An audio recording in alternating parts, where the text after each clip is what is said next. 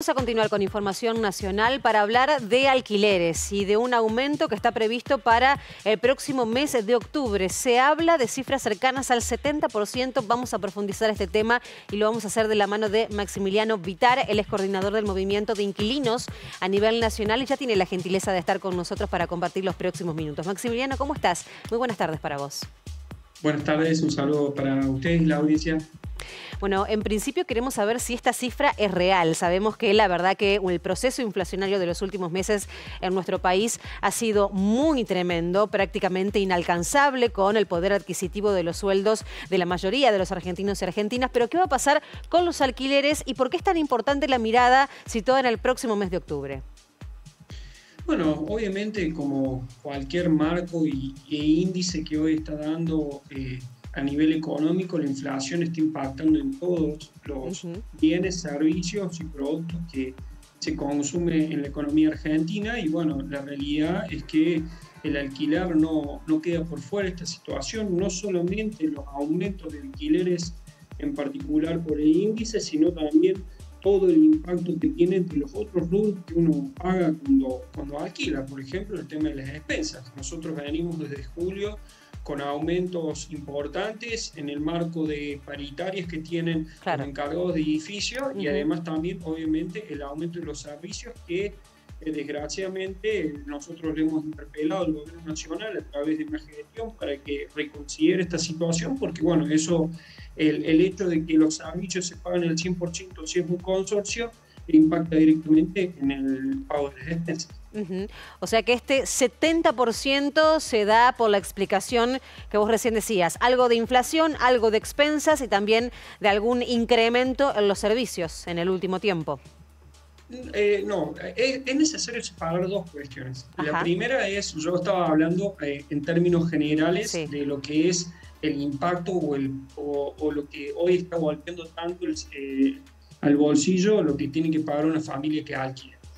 Pero si vamos al punto particular, que ha salido muchos informes de que para el mes de octubre va a haber un ajuste del ICL, que es el índice de alquiler de manera anual, va a ser cercano al 70% para las familias que firmaron su contrato con la nueva ley de alquileres el año pasado o que lo han firmado hace dos años.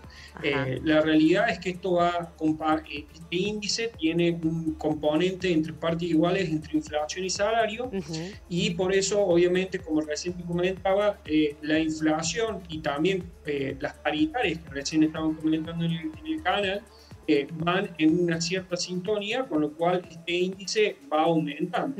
Sin embargo, yo creo que es necesario hacer una distinción, eh, porque muchas veces en, en la preocupación que es real, que nosotros estábamos con una expectativa de que este índice sea mucho más bajo, empieza la discusión más profunda de que si hubiera sido mejor que este índice o que por culpa del índice hoy las familias están pagando un 70% más.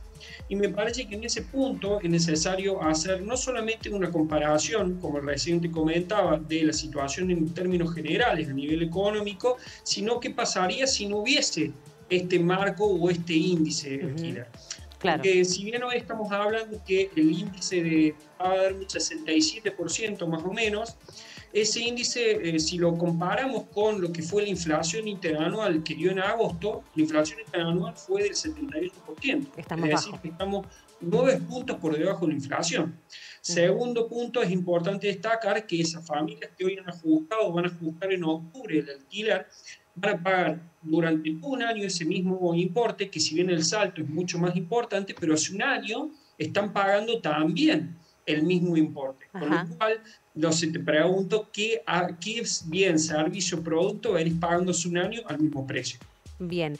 Vos estás, eh, no sé si plantearon estos términos, pero ¿estás a favor de la nueva ley de alquileres? Eh, ¿Pensás que esto favoreció a los inquilinos o todo lo contrario? Y si sabes específicamente si con la ley anterior los inquilinos hubieran pagado un incremento de este nivel, cercano al 70%. Eh, yo creo que nosotros cuando fuimos unos eh, impulsores del proyecto de la ley de alquileres, incluso tuvimos en el marco el debate de la reforma de la ley de alquileres, y nosotros creemos que esta ley, como siempre lo planteamos, era un piso de discusión.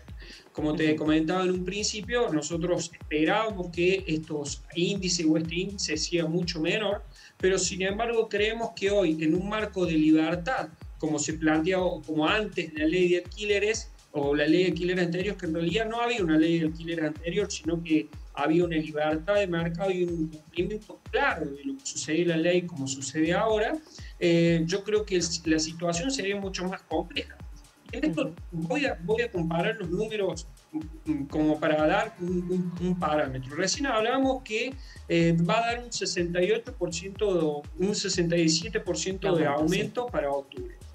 Eh, eso va a ser, eh, ese inquilino va a pagar o esa familia va a pagar al término de su segundo año de contrato un 67% de aumento.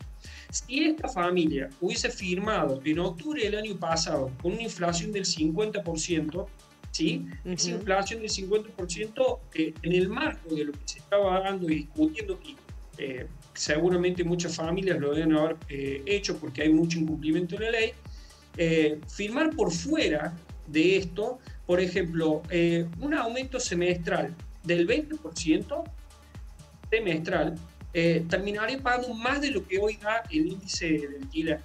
Es decir, yo pregunto a las familias que alquilaban, si el año pasado alguien con una inflación del 50% le hubiese ofrecido un ajuste semestral del 18 o el 20%.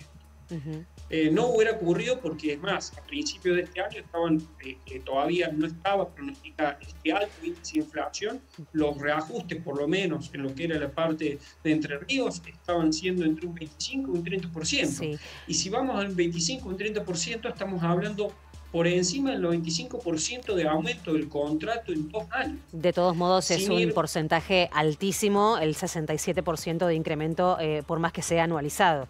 Digo, hay un montón de familias que realmente se les va a hacer muy cuesta, cuesta arriba el pago simplemente del alquiler. Quería consultarte por la dispersión de precios, se ha hablado mucho en este sentido a partir del proceso inflacionario en nuestro país. Hay muchas diferencias de precios en relación a los alquileres a nivel nacional y preguntarte concretamente qué sabes y qué nos podés aportar respecto de los precios que se manejan en el litoral? Bueno, la realidad es que sí, ah, hay, hay una variada eh, índice de precios, la, la, mayoría, por ejemplo, para ser más concretos de lo que es la parte de Ciudad Autónoma de Buenos Aires, parte de la ciudad de, Rosario y la ciudad de Córdoba son los lugares donde eh, el alquiler es, más alto.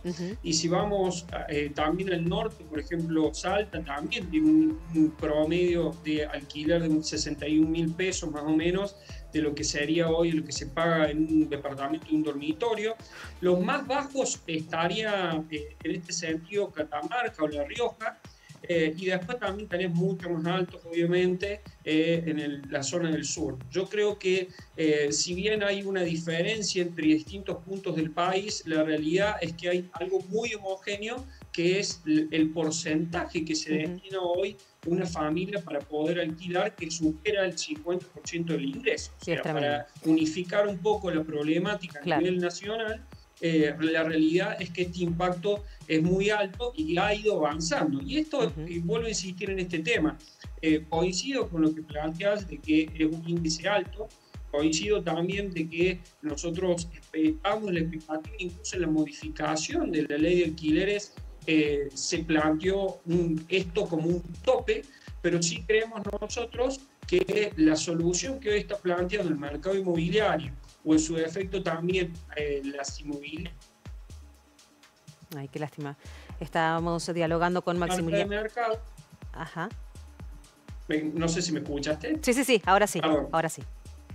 Eh, yo creo que la propuesta que hoy está planteando el mercado inmobiliario y más particularmente lo que serían las inmobiliarias y la oposición de esta libertad de mercado hace de que, vuelvo a insistir en este tema, hoy estamos discutiendo un índice que es alto, pero podría ser, ser tranquilamente muchísimo más alto, o si no, estar en condiciones que, si bien la preocupación es el bolsillo de los inquilinos, yo creo que la solución que están planteando es aumento trimestral y sin ningún tipo de tope.